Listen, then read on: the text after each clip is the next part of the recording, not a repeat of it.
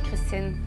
On a une belle journée aujourd'hui sur le sud, sud-ouest de la province. Si vous cherchiez une journée pour aller aux pommes, parce que c'est la saison, avec la canicule, on y pensait moins, mais c'est celle d'aujourd'hui. Je vous la conseille euh, parce que demain, ce sera plus gris, mais on va inverser euh, les scénarios, c'est-à-dire que dans l'est, c'est plus gris aujourd'hui et demain, ce sera plus ensoleillé pour vous. On est de retour au normal de saison. Ça, ça fait du bien.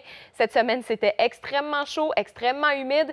Euh, là, on a encore un indice humidex qui fait grimper le ressenti de quelques degrés à peine, donc c'est confortable. Ça, c'est la bonne nouvelle. Sauf pour Gaspé, ça vous touche encore. Indice humidex jusqu'à 34 aujourd'hui. C'est ce que vous allez ressentir. Comme je le disais, un peu plus gris dans l'est avec des averses ou des risques d'averses sur certains secteurs. Maintenant, la nuit prochaine, un ciel partiellement couvert, peut-être des nappes de brouillard qui pourraient se créer sur certains, euh, certains secteurs. Donc, visibilité possiblement réduite. Si vous prenez le volant, soyez prudent euh, et soyez avertis. Il y a de légers risques d'averses dans le sud de la province et un risque de gel en Abitibi-Témiscamingue, hein, minimum à 3 degrés.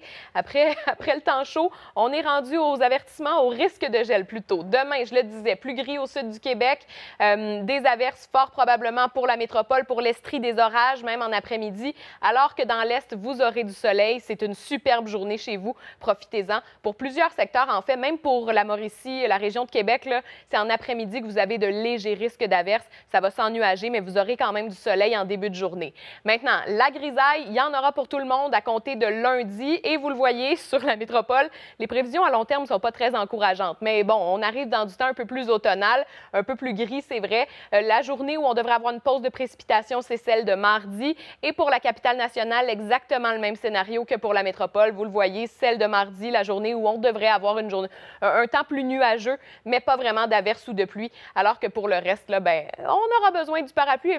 Peut-être, peut-être que vous allez sortir les bottes ou les bottillons cette semaine aussi.